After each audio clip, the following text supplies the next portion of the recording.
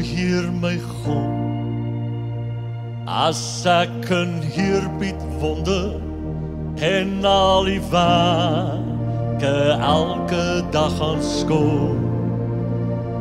Die son en maan, die aarde sterre wolke, hoe hy dit elke dag so onderhoud dan moet ek juig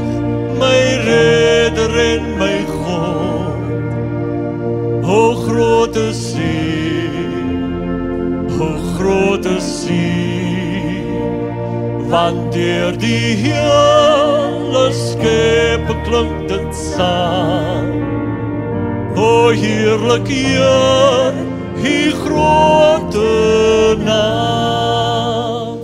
O Heer my God. As ek kan hier met wonder en al die werke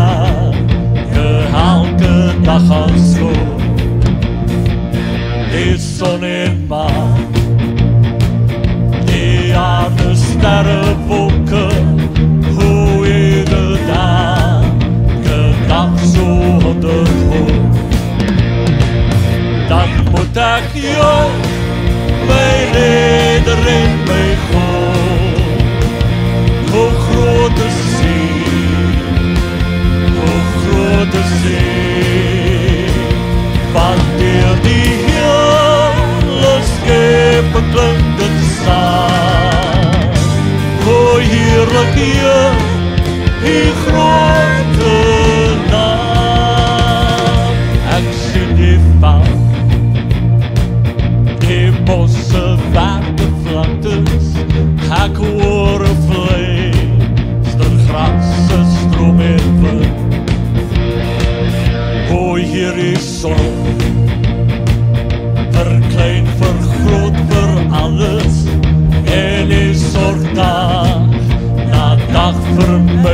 klaar.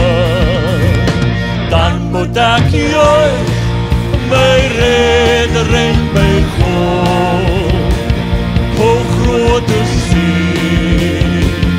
o groot is U,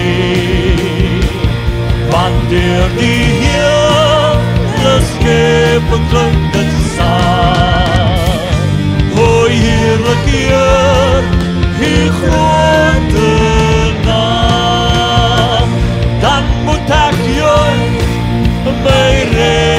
redder en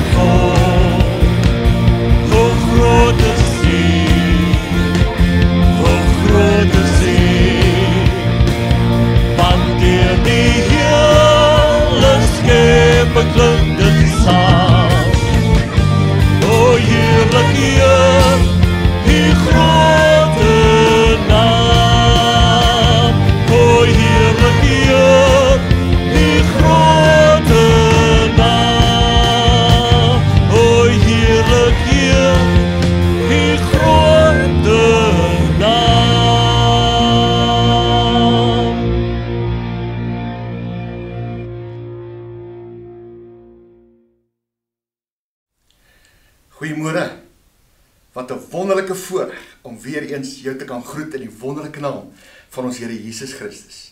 Hier uit 'n koue Pretoria uit. Is ek opgewonde in my hart en het ek 'n brandende hart. Daar's 'n ou ou koortjie wat sê when it's winter time, it's summer in my heart. Weet jy hoekom is dit somer in my hart? Omdat Jesus lewe in my hart en hy is my koning, hy is my redder, hy is my verlosser en ek bring aan hom al die eer en al die lof. Ek gaan aan met die tweede boodskap in die reeks oor herstel of herbou jou gebedsaltare. Dit gaan spesifiek oor die feit dat gebed is die aktiveerder van herlewing. En ek glo met my hele hart, soos Matteus 24 vers 14 dit uitdruklik sê, hierdie evangelie van die koninkryk sal verkondig word oor die hele wêreld heen tot getuienis vir al die nasies en dan sal die einde kom. Dit verg 'n beweging van God se gees om dit te kan aktiveer reg oor die wêreld. En daarom glo ek dat hierdie maand, die maand van Junie, het die Here dit op my hart gelê om met jou te kan praat en met die volk van die Here te kan praat en met elke shalommer te kan praat wat na hierdie uitsending kyk ook te kan praat oor gebed. Dat ons dat ons regtig ons gebedsaltare sal herstel en dat ons ons sokkies sal optrek en sal bid soos wat die Here wil hê ons moet bid. U sien as dit nodig was vir Jesus toe hy hier op aarde was wat as voorbeeld vir ons daar gewees het. As hy nodig gehad het om te bid, die aangesig van God te soek vir raad, vir hulp, vir krag, hoeveel te meer is dit nie belangrik vir jou en vir my om te bid nie. Hoor wat sê die woord van die Here in Hebreërs 5 vers 7 in verband met Jesus se gebedslewe. In Hebreërs 5 vers 7 sê hy die volgende: Hy wat in die dae van sy vlees gebede en smekinge met sterk geroep en trane aan hom, aan God die Vader, hom geoffer het wat hom uit die dood kon red en ook verhoor is uit die angs. Hier beskryf hy die hele gebedslewe van die Here. Verlede Sondag het ons gesien dat op 'n altaar word daar geoffer. Nou weet ons ons offer nie meer diere nie. Want Jesus was die volmaakte offer gewees. Hy was die volkomme offer vir eens en vir altyd was hy die perfekte offer sodat ek en jy nooit weer hoef 'n dier te offer vir ons sondes en ons oortredinge nie. Hy het dit eenmal gedoen vir altyd. Maar nou sien ons tog in die woord van die Here in die Nuwe Testament, daar's 3 dinge wat ek en jy moet offer. En die eerste een is onsself. Onsself aan die Here om totaal as offer aan die Here toegewy te wees. Ons is 'n lewende offer aan hom. 'n Lewende offer. Onsself. Die tweede een is 'n lofoffer om hom voortdurend, gedurig, aanhoudend te loof en te prys. Nie te kla en te memoreer nie, te loof en te prys oor sy grootheid en oor sy goedheid. En dan sien ons gebede.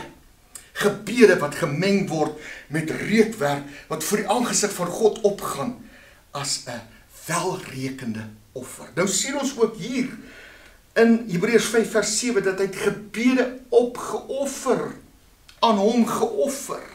Gebede geoffer aan God die Vader. Hy was 'n voorbeeld vir jou en vir my. En as dit nodig was vir hom om te bid, is dit nodig vir jou en vir my om te bid. Dit wat herlewing aktiveer is gebed. Gebed skuif die atmosfeer. Gebed is kragtig. Maar baie mense het soveel verskonings om te sê dat ek het nie tyd nie. Ek is so besig, ek het nie tyd nie. Hoor wat sê Martin Luther?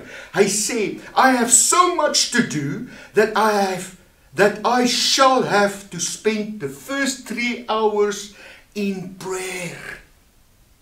Jette, ek hoor van 'n verhaal van 'n houtkapper wat 'n werk gekry het by 'n persoon wat gesê het dat hy moet bome gaan afkap. En die eerste dag kap hy 18 bome af. Die tweede dag kap hy 15 bome af. Die derde dag is dit al hoe minder en al hoe minder en al hoe minder en dan kom hy by die by die eienaar van die besigheid en hy sê ek verstaan nie, ek weet nie of ek of ek begin swak raak nie, maar ek sit soveel in. Die eerste dag was jy so tevrede met my werk gewees. Ek het 18 bome vir jou gekap. En dis nie dat ek lui is nie. Ek ek weet net nie wat is besig om aan te gaan nie. Eienaar van die besigheid sê, "Het jy jou byl skerp gemaak?" sien Abraham Lincoln het gesê dat as ek 6 ure gekry het om 'n boom af te kap, sal ek die eerste 2 ure Nee, ekskuus, hy het gesê ek sal die eerste 4 ure, 4 ure sal ek spandeer om my byl skerp te maak. Want dan sal dit net 2 ure vat om die boom af te kap. As ek en jy maar net kan besef wat's die waarde en wat's die krag van gebed. Er Atori sê die volgende. Hy sê we are too busy to pray and so we are too busy to have power. We are too busy to pray so we are, we are too busy to have power. Das krag in gebed. Gebed laat die arm van God vir jou en my in beweging kom. Elia laat die volk nader kom in 1 Konings 18. Dit was die kerngedeelte van verlede Sondag se boodskap. 1 Konings 18 vers 30. Laat hy die volk nader kom want hy het basies die volk 'n ultimatum gestel. Hy het hulle uitgedaag. Hy het hulle voor 'n keuse gestel. Hy het gesê: "Vandag sal ons die ware God sien antwoord met vuur." Hy sê: "Hoe lank gaan julle op twee gedagtes hinker?" Want ek sien julle van die Here afgewyk. Ek sien julle beweeg agter afgode aan. En daarom gaan dit so met ons in hierdie land. Dis wat hy in werklikheid sê vir hom. Hy sê, "Hoe lank gaan julle op twee gedagtes hinker? As God dan God is, dien hom dan, maar as Baal dan God is, dien hom dan. Maar vandag sal ons weet watter God is die ware werklike God. Is dit nie nodig dat daar weer 'n paar Elias te voorskyn sal kom en die volk van die Here konfronteer en sê, "Lank genoeg het ons op ons laure gesit. Dis tyd om te bid as kinders van God. Is dit nodig om in verhouding met die Here te kan staan?" Hy sê die laaste dag sal daar vele predikers na vore kom. Hulle sal vele predikers vir hulle versamel wat hulle in die gehoor sal streel. Ek sê mag die Here ons help om predikers te wees wat die waarheid van die evangelie van Jesus Christus sal verkondig, die ware woord van God sal verkondig, nie om mense in hulle gehoor te streel nie, maar te kan sê so sê die Here. En nie bang of skaam te wees nie, want ek weet dat die Here iets fenomenaals instoor in hierdie laaste dae vir jou en vir my. Maar kom ons bly by dit wat ons ontvang het van die Here af. Dat ons nie af sal dwaal soos wat die volk van die Here afgedwaal het, vele male afgedwaal het en elke keer was die resultate verskriklik chaoties geweest. Jy en ek kan ook daarvan getuig elke keer wanneer ons besig is om terug te val of te verkout in ons geloof of dat die Here nie meer ons eerste liefde is nie, dan kom ons agter dat alles val uitmekaar uit. Dit raak chaos in ons lewe. En daarom is dit nodig om weer eens introspeksie te kan doen. Daarom is dit nodig om net soos Elia te sê, kom nader. En dan sê die woord van die Here in 1 Konings 18 vers 30 en hy die altaar van die Here herstel wat afgebreek was. Wie daai altaar afgebreek? Agter dit alles. Ja, ek weet ons kan sê Isebel en haar valse profete. Ons kan sê dit was die volk se skuld geweest, maar bo bo dit alles. Agter dit alles. In die rek was wat was Satan die skuldige geweest. Hy sal alles in sy vermoë doen om jou gebedsaltare af te breek. Hy sal alles in sy vermoë doen om jou te keer om te bid. En hy sal verskillende verskonings vir jou gee. Jy's te besig of jy kan nie nou nie of jy begin twyfel aan aan God. Jy begin twyfel of die Here regtig jou gebede sal beantwoord. Want jy het soveel teleurstellings gekry en in die kerk het jou seer gemaak en hierdie mense het jou teleurgestel. Jy sal allerlei verskonings sê. Maar kom ons gaan kyk vanmôre uit die woord van die Here. Wat is die regte redes hoekom ons gebedsaltare in skerwe lê? En ek sê weer eens, die grootste vyand van jou gebedslewe is Satan, Lucifer, wat alles in sy vermoë sal doen om jou gebedslewe te vernietig. Want hoor hierdie stelling wat gemaak is. The enemy will try to limit your praying because he knows your praying will limit him. Hy's 'n vyand van jou gebedslewe. En ek het 8 punte hier vermoere wat veroorsaak dat jou gebedsaltaar in skerwe lê. En die eerste punt is vir punt is verkeerde familieverhoudings. In 1 Petrus 3 van vers 1 tot 7 skryf hy dit so mooi oor wat's die rol van die man en wat's die rol van die van die vrou. En dan sluit hy daai 7 7 verse af met die volgende hy sê sodat julle gebede nie verhinder word nie. Ek sien as jy kwaad gaan slaap in die aand vir jou vrou of vir jou man en jy is dalk te hoe kan ek dit stel? Hoogmoedig? Of te trots om te sê ek is jammer. En jy weier en jy jy daai stelling wat jy maak as sy nie vir my eers te gaan om verskoning vra nie sal ek nie haar vergewe nie. Ek het dit ook al probeer. En elke keer wanneer ek gaan bid, wanneer ek en my vrou 'n verskriklike fight gehad het, al wat ek sien is net my vrou se gesig hier voor my terwyl ek bid. Ek kan nie bid nie. Ek kan nie deurbreek nie. Ek kom nie tot die antwoord uit nie. Want my vrou se gesig is hier voor my. Daarom kry familieverhoudings reg sodat jou gebede beantwoord kan word. Die tweede punt is onvergewensgesindheid. Markus 11 vers 25 sê dit so uitdruklik. Hy sê as jy nie bereid is om te vergewe nie, hoe kan jy verwag dat God jou moet vergewe? En sien mense loop met bitterheid en onvergewensgesindheid in hulle hart en besef nie dit maak die ore van die Here toe nie. Die Here luister nie na ons gebede wanneer ons met bitterheid of onvergewensgesindheid rondloop nie. Kry dit uit jou lewe uit want dit word aangeblaas deur Satan. Hy wil hê dat jy moet met daai gedagte rondloop van ek weier om haar te vergewe of ek weier om hom te vergewe. Want hy het my so leed aangedoen en hy het my soveel skade aangedoen. sien is 'n plan vir die duiwel. Hy's die vader van leuns. Hy sal allerlei leuns in jou indruk sodat jy net nie moet bid nie. Want hy weet gebed is die aktiveerder van krag en van herlewing. Punt nommer 3. Verkeerde motiewe. Hoor wat sê die woord van die Here hier in Jakobus 4 vers 3. Hy sê julle bid en julle ontvang nie omdat julle verkeerd bid om dit in julle welleste deur te bring. Verkeerde motief. Here asseblief gee my dit. Maar jy het met 'n verkeerde motief. Want jy dink met die vlees en nie met die gees nie. En die vlees en die gees is in vyandskap met mekaar. Vriendskap met die wêreld is vyandskap teenoor God. Punt nommer 4 is ongehoorsaamheid en sonde. In Jesaja 59 van vers 1 en 2 praat hy duidelik dat hy sê sonde is soos 'n skeidsmuur tussen jou en God. En dit maak dat die Here weens jou sonde nie jou gebede verhoor nie. Daar's 'n stelling wat gemaak is you can't defeat the demons you enjoy playing with. Kan ek dit weer sê? You can't defeat the demons you enjoy playing with. Sonde bring 'n skeidsmuur. Ongehoorsaamheid bring 'n skeidsmuur. Wanneer die Here vir jou sê om iets te doen en jy dit nie doen nie, dit bring 'n skeidsmuur.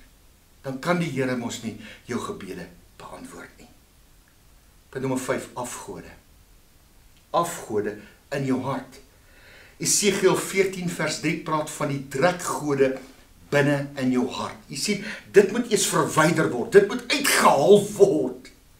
Dit wat vir jou belangriker is as die Here. Dit wat meer tyd van jou in beslag neem as die Here. Iemand het die stelling gemaak en sê Facebook en Twitter sal aan die einde van die dag bewys dat biddeloosheid se rede was nie omdat daar nie genoeg tyd was nie maar dat om met iets anders te jou tyd in beslag geneem het. Facebook en Twitter. Sosiale media nadat beginne mense se afgode begin raak. Jy spandeer meer tyd om te kyk wat staan op Facebook as in die woord van God. Kind van God die Here moet ons help. Die vyand is besig om mense te verblind en te mislei en te verlei want hy is op pad met die mensdom op 'n afgrond af om dit totaal te vernietig want hy het gekom om te steel, te slag en te verwoes. Maar die Here het gekom sodat ek en jy kan lewe in oorvloed hê. Dit is sy hele motief. Die vyand sy hele motief is om jou gebedslewe te vernietig en te verwoes. Punt nommer 6: 'n tekort aan omgee vir die armes. Hæ? Sê weer kan dit my gebedsaltare vernietig? Verseker God se woord sê in Spreuke 21 vers 13 hy sê wie sy oor toestop vir die geskreeu van die arme hy sal self roep en nie verhoor word nie wanneer jy jou ore toestop vir die geskreeu van die arme van die behoeftige van die persoon in nood die dag wanneer jy gaan roep en die dag wanneer jy gaan skreeu gaan die Here ook sy ore toestop vir jou mag die Here ons help om ook in hierdie dae dat ons uit sal gaan en 'n verskil sal maak in mense se lewens. Veral nou in hierdie tydperk waar mense hulle werke verloor, waar mense sonder werk sit, waar mense in geweldige nood is, waar mense honger begin raak. Kom ons maak planne. Kom ons doen ons beste. Kom ons gee ons beste. Kom ons help mense. Kom ons stel mense op. Kom ons wys die wêreld hoe lyk Jesus. Laat Jesus deur ons funksioneer. Want sou Jesus by 'n arme verbygeloop het, sou Jesus by by 'n stikkende gebroke behoeftige verbygeloop het wanneer hy roep na Jesus, sou hy? Nee. Hy sou nie, hy sou gestop het en gehelp het. Punt nommer 7: Twyfel en ongeloof breek jou gebedsaltaar af. Hoor wat sê die woord van die Here hier in Jakobus 1 vers 5 en 7. Hy sê die volgende: En as iemand van julle wysheid kort kom, laat hom dit van God bid wat aan almal eenvoudig gee sonder om te verwyd en dit sal aan hom gegee word. Vers 6. Maar hy moet in die geloof bid sonder om te twyfel, want hy wat twyfel is soos 'n golf van die see wat deur die wind gedrywe en voortgesweep word. Want die mens moenie dink dat hy iets aan die van die Here sal ontvang nie, want die mens, watter mens? Die mens, wat wie is daai mens? Daai mens wat bid sonder geloof, daai mens wat twyfel. Daai mens wat soos 'n golf heen en weer rondgeslinger word. Hy moenie dink, sy moenie dink dat hulle iets van die Here sal ontvang nie. Ek sien in Hebreërs 11 vers 6 sê sonder geloof is dit onmoontlik om God te behaag en hy wat glo moet weet dat God is 'n beloner vir die wat hom soek. Hy wat glo. Hy wat glo. Ons moet glo in God en weet dat hy sal ons gebede beantwoord. Hy sal ons verhoor. Wanneer ons in sy teenwoordigheid in sal gaan, gaan hy die beloner wees. Wat ons uit ons situasie gaan uithelp. Dan die laaste punt is om meer afhanklik te wees van iemand anders se geloof. Eindelik moes ek hierdie punt so geskryf het om meer te steun op die arm van vlees as op die arm van God. En daar's baie mense wat so ingestel is om te kyk wie kan my help? Ander moet my help. Maar hulle is nie bereid om self na God toe te gaan wat die ware bron is van jou hulp en van jou voorsiening nie. Ons kyk na Pietie en Koos en Jannie en Gert en Sunny om ons te help in plaas om na die Here toe te gaan te weet dat hy is die groot voorsiener. Hy is die ene wat help. Hy is die ene wat deurdra. Daarom sê Johannes 15 vers 7 die volgende. Hy sê dit uitdruklik: As julle in my bly en my woorde in julle sal julle van net wat julle wil en julle sal dit verkry. As ons in hom bly. We are a kingdom of priests and not a people in need of a priest. We are a kingdom of priests. Ons is 'n koninklike priesterdom, 'n uitverkore geslag, 'n heilige volk verkry as sy eiendom om te verkondig die deugde van hom wat ons uit die duisternis uitgehaal het en in wonderbaarlike lig geplaas het. Ons is 'n heilige priesterdom. En 'n priester het 'n direkte kontak met die met die Vader. En almal vir ons is priesters wat aan die Here behoort. Ons is priesters, man en vrou, ons is priesters. En ons kan intree by die Here vir ons mense, vir ons volk, vir ons land. Ons het nie iemand nodig om dit te doen nie. Ons hoef dit nie deur 'n priester te doen nie. Ons is nou priesters wat 'n direkte kontak het met die Here. Mag die Here ons help dat ons in hierdie dae ons gebedsaltaar sal herstel. En werklik sal sien hoe daar 'n beweging, 'n eindtyd beweging kom wat hierdie aarde gaan skud. Kom ons bid saam. Vader baie dankie vir hierdie woord. Mag die gees van God dit diep in ons hart bære. Dat geen duiwel dit sal steel wat vermoere in ons lewens ingesaai is deur hierdie kosbare, onfeilbare woord van God nie. Seën elkeen wat na hierdie uitsending nou geluister het. En laat die gees van die Here werklik die naprediker sal wees om elkeen te inspireer om ons gebedslewe te herbou, op te bou. Daai plek te kry wat ons meer tyd met die Here sal deurbring. Want U Jesus was die voorbeeld vir ons gewees toe hy op aarde was. Het hy gebid en niks en niemand kon u keer nie. In Jesus se naam. Amen. Jy wat na hierdie uitsending nou gekyk het en jy besef jou lewe is nie reg met God nie. Jy wil graag jou lewe regmaak. Aan die onderkant van hierdie skerm is daar telefoonnommers van pastore wat nou gereed staan om jou oproep te ontvang om saam met jou te bid, jou na die Here toe te lei, jou saak met God reg te maak. As jy dalk 'n gebedsversoek het, maak nie saak wat dit ook al is nie. Skakel hierdie pastore en hulle sal graag jou bystaan ook in hierdie tyd van nood. Mag die Here jou ryklik seën. Ons gaan vanaand aan met die reeks oor vergifnis. Jy mag dit nie mis nie. Daardie eerste boodskap verlede Sondag aand was iets fenomenaals geweest kyk na hierdie tweede boodskap. Die Here seën jou. Gaan in vrede. Shalom.